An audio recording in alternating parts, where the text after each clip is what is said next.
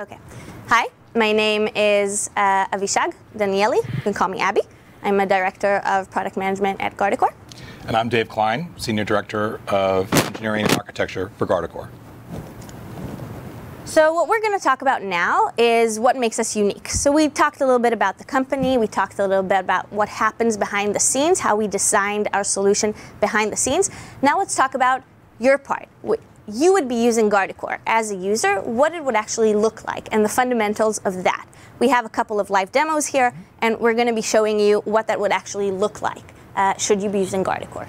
So first of all, again, what led us to build our solution is fundamentals that are that will make a security and segmentation project as simple and fast as possible. So for this, we have defined the following you have to have unmatched visibility. And we're actually going to see this. We're going to see that we can provide you, again, a single pane of glass to visualize your whole data center from your legacy system still holding you back all the way to the cloud and to cloud and containers. Yes?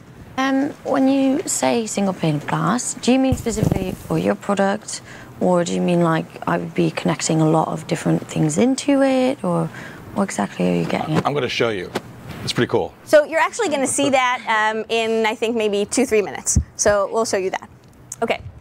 So we provide you unmatched visibility, and we're going to visualize this for you. Mm-hmm. And again, when I say single pane of glass, I actually mean we can show you your whole data center from the data that we collect. And you'll actually see this in a couple of minutes. And we also provide flexible grouping, which means an ability to give context to your assets, which actually means that you will be able to visualize your data center in the way that you think or speak about your data center. And to on top of all of this, we've actually taken and created several flexible policy models, whitelist, blacklist, and composite, which actually enable us, enables us, coupled with the rest of the solution, to answer any segmentation use case simultaneously. And we'll show you that as well. So, visibility. What are the goals of a good visibility solution or our visibility solution? So, first of all, to map application dependencies. You have to understand what's happening in your data center to be able to take control of what's happening in your data center. If you don't understand or visualize what's going on, it's much harder to take action and make data driven decisions. So, we start with mapping application dependencies. And then the second goal was, of course, to visualize everything from a human lens. So it's not a log of all your connections, right? Because that's something that you'd have to sift through and it's work. We actually enable you to visualize the data center from a single pane of glass and be able to see that in a human lens with lots of context. You'll see that in a sec. So what made us, what drove us forward with this solution? First, it was analyze all flow metadata, which actually means that we see every connection, be it a successful connection, be it a failed connection, because you have existing firewalls that are blocking your connections, be it a blocked connection, which is something that we actually see that we have actually blocked. We collect all this information with flow metadata, and we'll touch on, on that metadata in a second, to visualize everything that's happening. So it's not a deep packet inspection, inspection solution, right? It doesn't have large overhead. It's a very small agent, which we've discussed before. So we're able to analyze all the flow metadata and store and display this historically. So you can actually choose to visualize your data center and view your data center with the last 15 minutes of data, but you can also go and choose two days, three months ago, or a month, a year ago.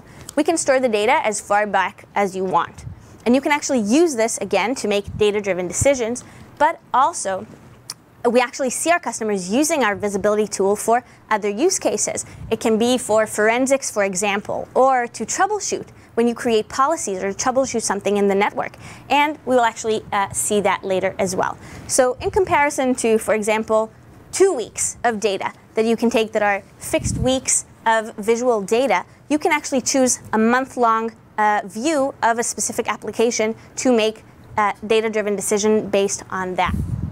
And we provide as much context as possible. And when I say that again, we provide information about the process level, about fully qualified domain names. You will actually see what user executed each process and what the user identity that is logged onto the system actually is.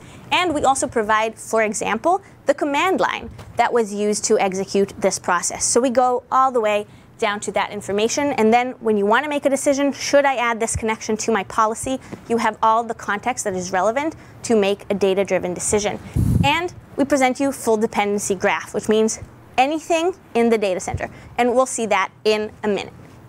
On top of that, we add flexible grouping for context. So labeling. So we started with mapping everything, and then we add a context, which means you need to map and then understand what you see. And not only should you understand it, but you should also be able to visualize your data center in the way that you speak of your data center. What does this actually mean? So, for example, if you have a concept of zones within your environments, we actually enable you to view your data center in a hierarchical view of zones within your uh, different environments. We also do this for the classic view, which is roles within applications, within environments, and we will see this in a minute. But the most important part here is it's completely customizable.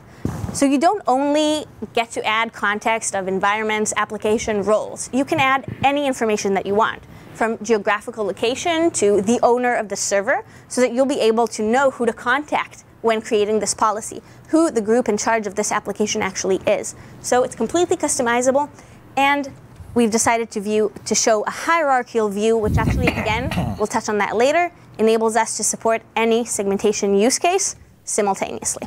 So Dave, it's all yours. Great. Good morning, everyone. So what we have on the screen here is a hybrid cloud data center environment. And we talked about having unmatched visibility and looking at things through a human lens. And a human lens changes depending on your role. You might want to think, see things in a different hierarchy, and we have the ability to do that. So first things first, I want to show you the underlying architectures that we have here. We actually have a number of platforms.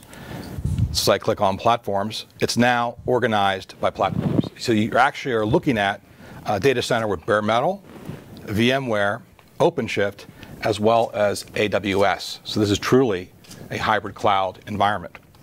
Another thing to think about, we talk about uh, human lenses. I may be a compliance officer, so I might be looking at PCI.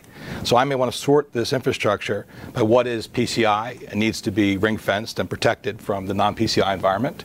Or for my first example of the day, what I'm going to do is be a production manager of an application called billing I will click on this, and I know that my billing application is critical to my business, and that uh, it has several tiers that we want to protect between the tiers of the application, as well as ring fence it from what talks to it.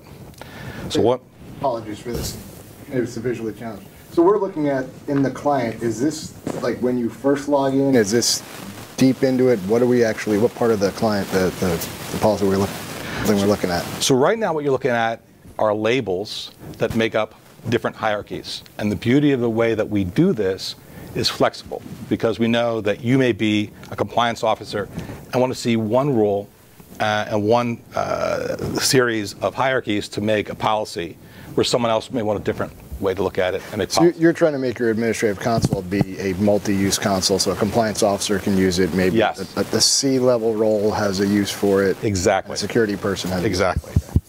And so looking at this billing application, what I see is a hybrid cloud environment. And back to uh, your question earlier about is this our data or someone else's data? The idea is it's both. So we have here in the center uh, a billing web service uh, application. Uh, it's actually Green Unicorn, a very nice web service. And you see you have orchestration details that are provided by OpenShift and Kubernetes. So all that information comes from OpenShift and Kubernetes. To the north, I have a legacy uh, VMware environment. You get the VMware, uh, VMware uh, orchestration details as well, as well as the interconnects. And to the south, we have a Postgres database uh, that also interacts. So what you're seeing here is the orchestration data provided by the various platforms in a seamless single pane of glass so we can understand the interdependencies of that application. Furthermore, we see what we're interested in ring fencing. You see you have the user environment which comes through the infrastructure through a proxy, and we're going to talk about this in great detail. So could each of those dots represent an agent that we've that has been deployed? Each of those dots is a workload. So in some cases where you see process level visibility, you have an agent.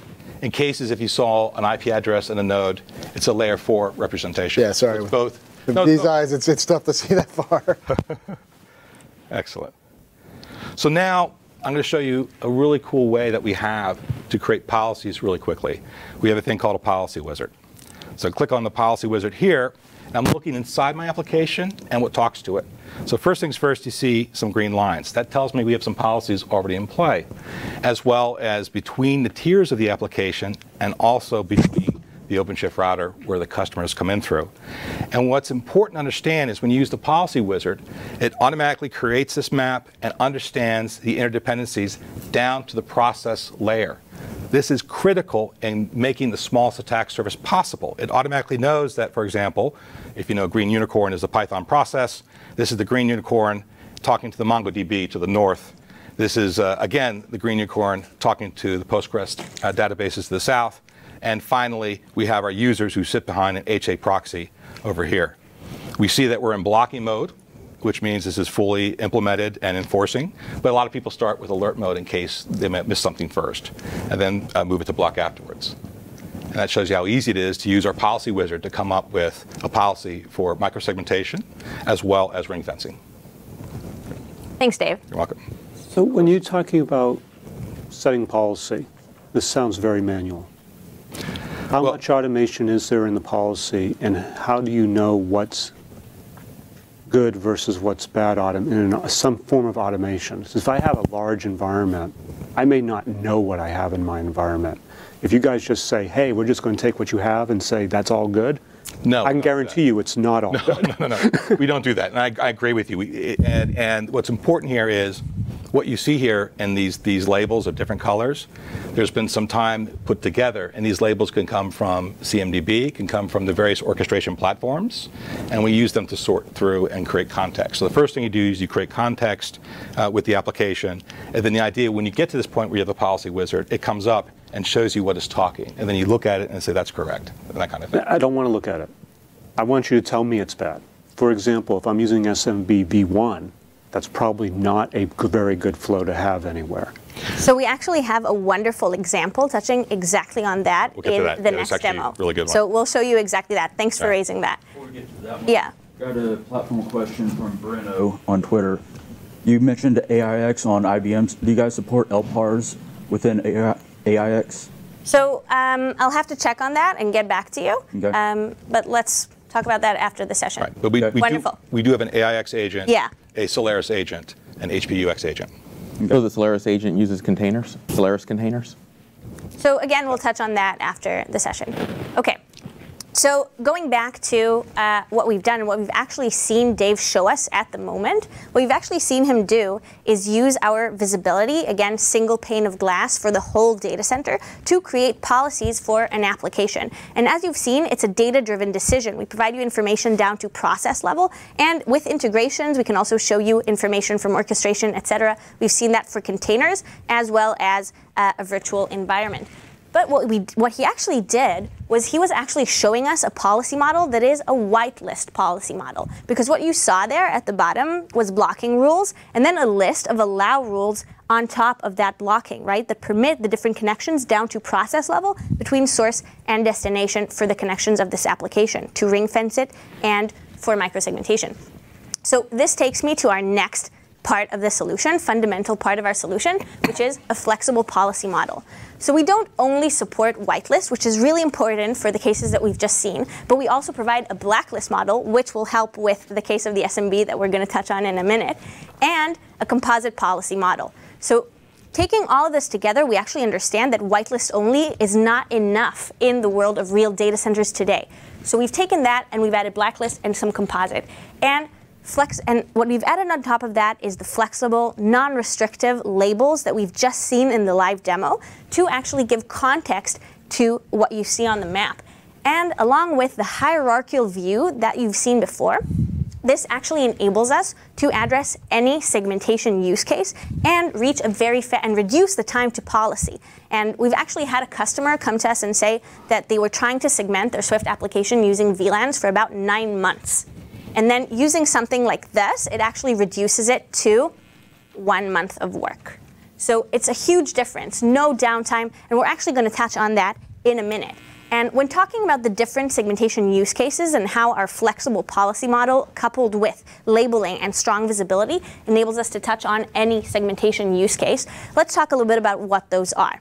Right? So a lot of our customers, so the list that you see here is a list of what we usually recommend our customers to do, but this list was actually derived from what we see our customers doing, right? We learn from our customers and we are able to actually then go ahead and continue to uh, to help. So this is usually a flow of what our customers to do. The, it will do these points, but customers can actually intercept this list at any moment and, per, and perhaps choose to do only one and three or only um, two and five. So basically what you can see here is a list that our customers go, go through. So first of all, we start with general IT hygiene, or this is what we see all of our customers using, which is our blacklist model. And this means, for example, in the case of uh, SMB that you want to protect because it's an insecure, it's an unsecure uh, protocol, what you want to do is actually be able to block it. So we can block Telnet, for example, at, across the whole environment or SMB down to process level. And Dave will show us a very nice example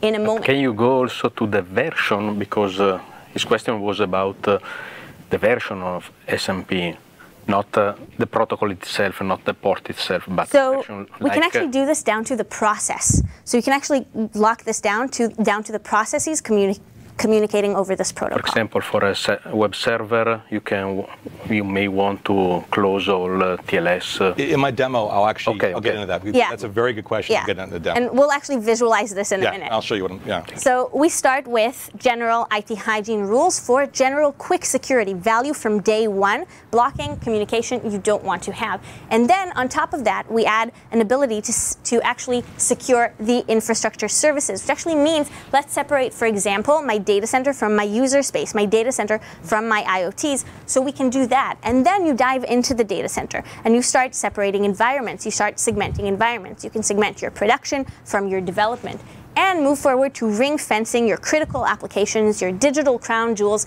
within your specific environment. So we do that, for example, for Swift and other uh, examples as well, such as regulated environments. And then you can dive into your specific critical applications that you want to micro-segment at this moment, and you can micro-segment them as well, which means separating the different roles, right? How databases within this application can communicate, for example, with the web tier, which is what we've seen in the previous demo. So Looking at all of this, again, just to mention, this is what we usually see our customers doing. This is a general flow. But again, customers can intercept this at any moment and start at point two, move to point, to point four, etc. That is the beauty of the product. We enable you to be flexible enough to cover every segmentation use case and do that consecutively, simultaneously. So, Dave, why don't you show us Excellent. that demo that we've mentioned? So my customers, when they start, look to handle the low hanging fruit. What gets the biggest bang for the buck? And the kind of stuff that we, talked about, vulnerable pro protocols, out of date protocols, are essential in taking care of that. So we're going to show you the power of using a blacklist to do just that. So the, we talked about TFTP, we talked about other vulnerable protocols. FTP is probably the worst. And it's also very difficult in traditional methodology to take care of since it can use dynamic higher ports. So the beauty of Guardicore is we allow you to handle this easily. So what you see on the screen is a traditional layer 4 port-based rule. Port 20, port 21. There's no acknowledgement of what version of the software it is uh, and the like. And the key is instead of doing this by port, we're going to do it by process. So to simply put, all you have to do is go over here and you see you have any to production. I'm going to say I'm looking for any communications with FTPD in any place that it, it, it comes out. And I'm going to remove the ports because the beauty here is we don't care about the ports. We'll look for FTPD conversations anywhere in the environment. And basically all we have to do is hit publish changes and we're good to go. Now, as far as the individual versions of the, the software, I'm going to wait till my next uh, demo I'm going to show you. Mm-hmm. I'm going to show you where we, we actually do that. We actually Okay. can say, we can acknowledge Because, for example, this. for SSH, uh, Right. it's the same, but you want to block uh, version right. 1. Uh, exactly. So thanks, Dave. You're welcome. Um, so basically, what Dave showed us in really two minutes, right, was how you can easily create a policy in Guardicore to, black, to block FTP, non-secure FTP, across the whole environment with a single rule. Now, the value of this is A, it takes you a few seconds, right? And the second value of this is actually we were able to secure FTP across the whole high range of ports that it can communicate on with a single rule, right? A single block rule on process level across the whole infrastructure because that is what we cover down to process level on any operating system, right? Linux, Windows, we cover it down to process level across the whole infra. Yes. So what happens if someone attempts to start FTP? What does the user see? So the blocking rule that we actually just created was anybody trying to communicate with production over FTP will be blocked. Oh, I So- understand they won't be able to communicate, but if I'm an admin Yes. and I don't know that this rule exists, I try to start FTP, what do I see? You'll be blocked. Actually, blocked. in my, my next demo, it's going to be secure shell. Uh, you'll see exactly what happens. I'm going to Exactly. actually show the end user experience. We have So the end wait user. for that. Yeah. Thanks. Okay, so I'll just want to take that and touch on that point to, to help clarify how actually how we actually make it simple, right? So again, you saw a simple rule, but imagine if we didn't have a blacklist and was only a whitelist solution, right? So in order to be able to block FTP, you would actually have to whitelist all the right communication, the communication that you want to uh, that you want to permit in the data center in production environments, only to be able to then block FTP, right? So the overhead here takes a long time, right? The work there takes a long time. You have to whitelist everything in production only to be able to block FTP, where with our blacklist model, we can give you value from day one. Now, touching on that, I actually have a more, a, a more, let's say, a little bit more complex example uh, that we actually see uh, all of our customers using today. And the first thing is that you want to actually enable uh, administrative protocols to communicate with your environment only if they come from jump boxes, from terminal servers, right? So what you actually want to do is to block anything coming directly to your production environment over these administrative ports and only enable things if they come from the jump box. So looking at Guardicore, where we've already learned how flex about flexible labeling and we've learned about uh, how easy our blacklist model works, we can actually see that you can create a label for jump boxes and a label for production. So you need two labels. And then you can actually create two simple rules. One that says production jump boxes to production environment over port 22 allow, while everything else to production over port 22 block. We'll show you in a minute how we do that with process level in the next demo. But this is a very simple rule to do with the composite and blacklist model that we provide. Time to value is one day, or if you're Dave, then one minute. Uh, and rules to manage is two. Now, if you look at a whitelist only model, you would have to label, yes? Okay, so at a whitelist only model, you would have to label everything, and then time to value would be months, and rules would be thousands. Now. We're going to talk about a specific example that I think would be really is that is really relevant to all of our customers. And one of them in our latest customer advisory board told us that this specific feature actually reduces their costs on terminal and jump boxes by 60%. So, what are we going to do now? We're actually going to add another layer to this jump box use case and show you how user identity rules actually enable us to reduce the cost of jump boxes. Because what we're going to do is we're going to show you how two contractors, Andy and Doug, Andy from 3D Analytics, who needs access to our accounting application, and Doug from DevOps and Sons, who needs to manage the DMS application, how they, both of them, can use the same jump box without, with configurations and user identity to be able to access only their relevant applications. And this is what Dave is going to show us now. Thank you, Avishag. So by far, beyond looking for protocols you don't want in the environment, the biggest thing all my customers do is handle remote access. This is important, especially today when you have so many contractors, distributors, vendors, and people that need to be in your environment, need to be in that data center and the cloud, but need access to the right thing. And at the same time, I'm going to show you how we, we talk about specific processes and versions and things like that. So I have a map on the screen. I'm in my infrastructure environment. I have my jump boxes, and I'm, I'm specifically talking about my Windows jump boxes. And what we have is, is two contractors. Uh, a gentleman named Andy, who is 3D Analytics, and Doug, who's with DevOps and Sons. And there's two putty processes here. Well, Andy is responsible for the accounting application.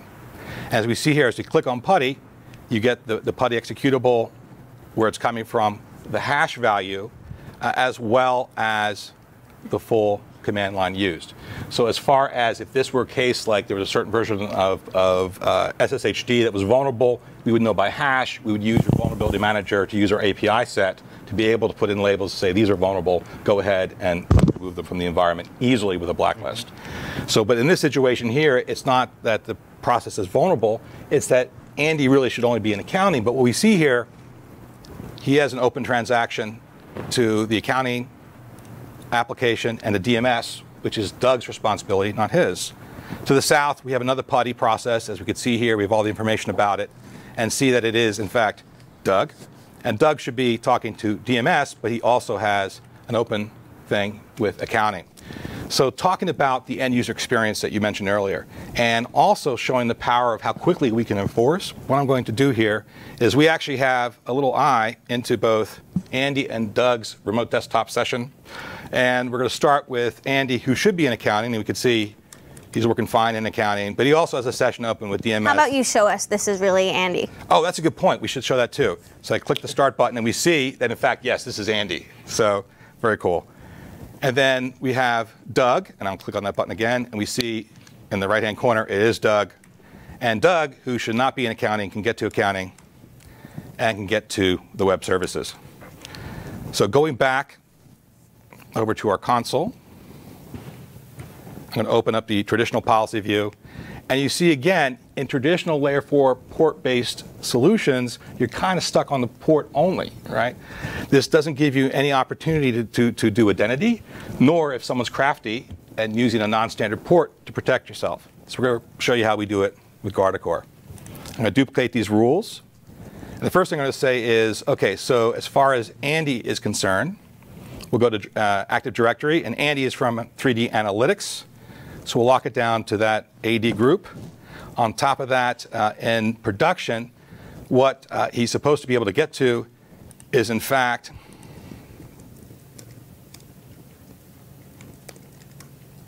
is the accounting application.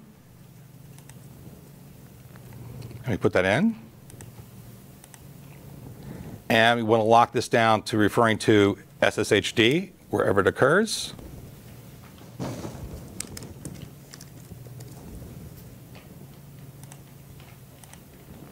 And we're going to remove that port because, again, if someone's crafty, they can change the port, no problem. All right. And the second one, our contractor, uh, is going to be Doug. So we go again to directory services. And we know he's from uh, DevOps and Sons. We're going to go into uh, production and say he could only get to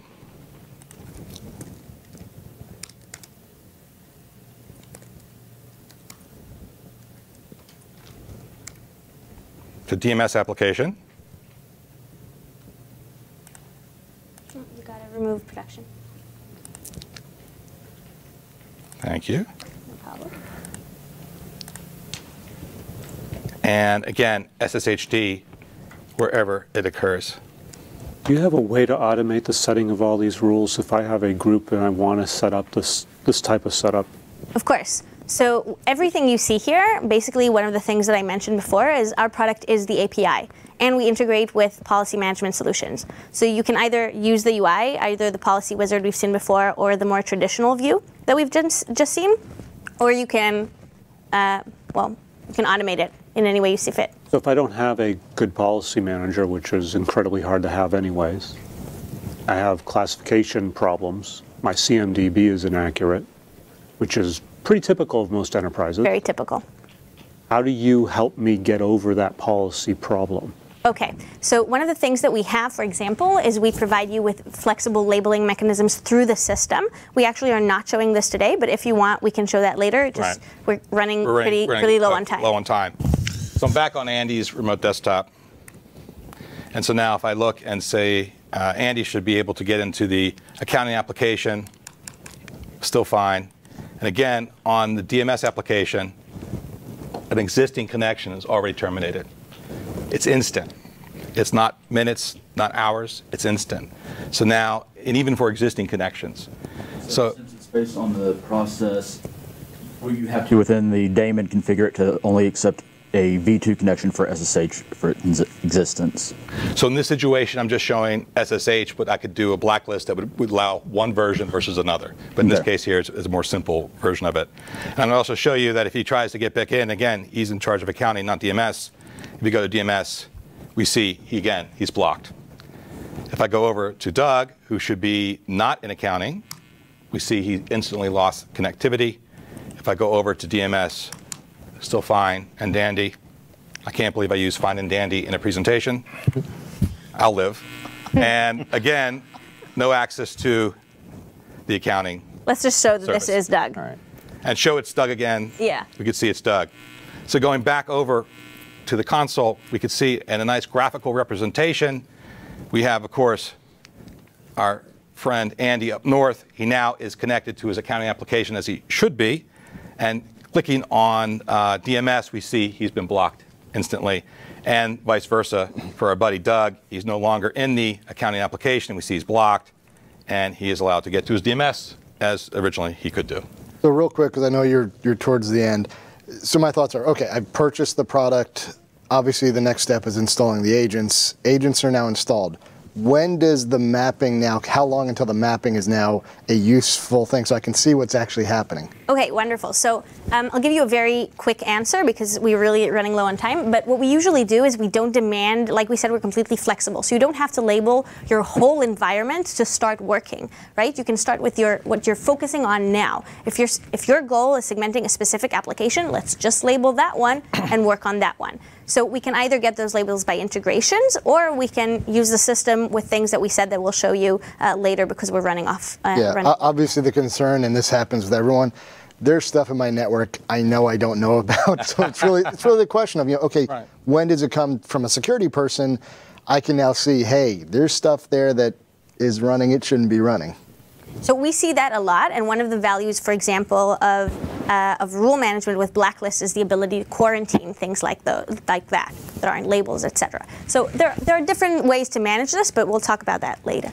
Um, I just had a question kind of related to that, but um, could you use this for like um, IT kind of um, target operating kind of not models, but like the direction? Because I know I use Splunk as an example a lot, so I apologise, not in the same sense, but it's um, they have a setup where you can kind of understand what's going on in your network. By the sounds of it, it- it's basically you guys offer that as well as you kind of understand the the flow, but also more of the um, like in the future we're building out this, and so we need to consider these things. Would you consider that a valid use case for this? So one of the use cases of our visibility is in fact forensics and troubleshooting, etc. So there are And companies that migrations. use that And You need to see what you currently have and what you're looking to do. So, do, Exactly. Nice. so do you have application fingerprinting for encrypted traffic and the like? So um, there, there are various. This is taking us a little bit off topic, so let's talk about that later. Uh, we'll, we'll hang around for all these And questions. because we're an agent, we're below the encryption level. Hmm. Should I go to the next slide? There. so yeah, Since we're running low on time, I'm going to show you one more demo. I should go back. So what we're going to show you now is actually a demo around fully qualified domain names and the value of that and how easily and flexibly we can actually secure the data center with that. Excellent. So the key here is when we look at updates, I'm going to use an update example for, for anything from GitHub, Windows updates, or one of your Linux distributions. Just as enterprises are using dynamic, auto-scalable IP address ranges to do their things, so the update services. In a previous life, uh, it used to be very uh, big a hassle for me to keep things up to date if I had static lists. So the beauty is being able to make policy by domain is really critical. And what I'm going to do to do that is look at a development group that's working on a new application that they're putting into deployment. And I see here they have internet destinations. I'm going to right click on here and filter to see what they're doing. And I see on the right hand side a bunch of IP addresses. And what I'm going to do is open this here. And what I see is that that environment is talking to a number of uh, GitHub addresses, because again, there's multiples. Uh, they're talking to Ubuntu in a couple of ways, and there's also a suspicious domain I would like them not to talk to. If I open up the dev environment, I see they're working on the org portal. One more click, I see it's a three-tier application. And depending on what tier it is, there's different things that they need. Looking at the web services, I see they use GitHub and also Ubuntu for distribution updates, as well as that suspicious domain that I wish they wouldn't be going to. The other two tiers, we have load balancer and database, both do NTP time updates to Ubuntu.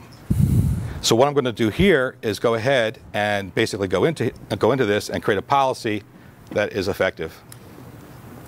So traditionally, at port level, you kind of have problems doing this in an effective manner. But I'm going to show you how easy it is to do with domains. I'm going to duplicate this rule here. And this first section, we see that the web services need to reach both GitHub and Ubuntu. So I'm going to go in here real quickly and change this from uh, development environment org portal. I'm going to change this to actually just cover those web services part of the application. Okay. And apply. And instead of giving access to the whole internet, I'm going to clear that. I'm going to say they need access to GitHub.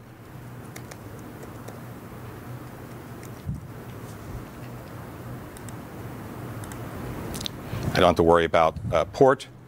And here we said that the web services, as well as the other two tiers, need to get to Ubuntu. So I'm going to go here.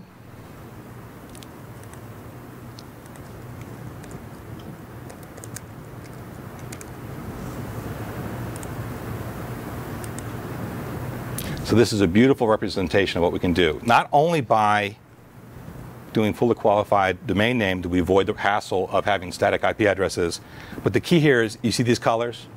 So I've been able to show that because we show a hierarchical view, that I'm able to use two rules to do something that would take a lot more rules to do otherwise. We cover in this way here, the web services can talk to GitHub and Ubuntu, and then everything else can talk to Ubuntu. Submit.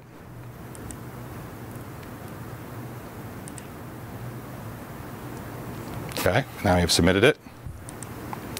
Now I'm going to go to the web portal portion of that application.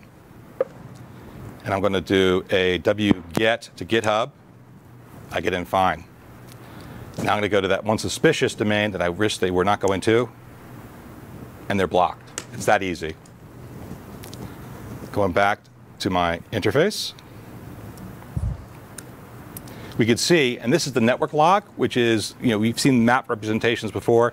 This is the network log version of that. You can see right here, we're allowing that web portal to get to GitHub, but we blocked it going to the suspicious domain. So it shows uh, that we were being effective. And that's it. Wonderful. Thanks, Dave. So I'll just sum this up for us. Basically, what we've done here is we've created a solution that is fast and simple to help you move forward with your segmentation and microsegmentation projects. So again, our fundamental is give you the best visibility out there to be able to understand everything that is happening in your data center from a single pane of glass across your whole data center to be able to understand everything that is happening. And we do this by doing the hard work for you. We consume these large amounts of data to be able to represent them visually in a manner that is easy to understand for any user and to be able to visualize your data center in the way that you think or speak about your data center. And we do this again supporting any environment and multiple flexible policy models, which actually means that we are able to support any segmentation use case simultaneously. And basically our goal was to make your life simpler with, for security teams, for application teams, for infrastructure teams, and to move forward a faster segmentation project. Thank you.